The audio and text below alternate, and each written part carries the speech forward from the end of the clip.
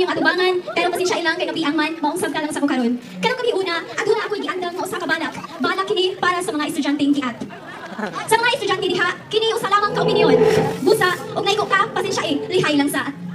Ang mga estudyante karon, lahi na gyud kumpara sa unang panahon. Mga kinaiya, lisod na gyud kaayo sakton. Mga maot ang uban, ug batasan, ug lisod sa jud pitulon. May pang gamay bata, sigaan sa mata. Muhunong ug iking pa. Pero ang estudyante nga dako na, sigaan sa mata, sa maestra, igawas manglibak pa.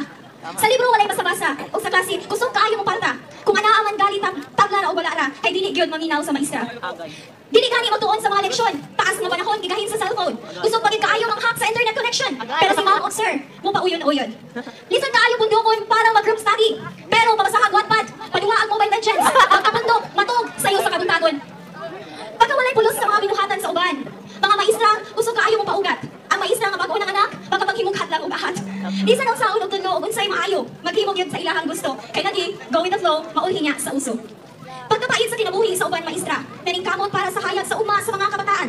Apan ni pakonsibisyon lang sa ubang estudyante diha, kada adlaw way puas ilang pagpasibala.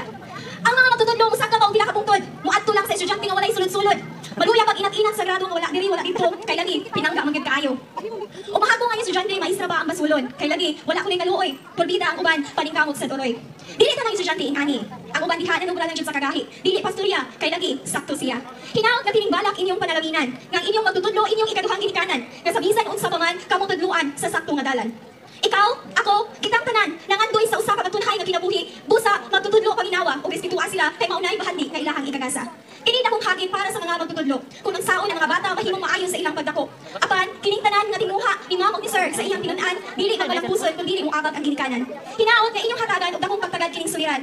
Nagiatubang sa inyong matutudlo sa inyong ginikanan, kay ang tanan nga ilang paningkamot para ra sa inyong umaabot. Mao kadto daghang salamat.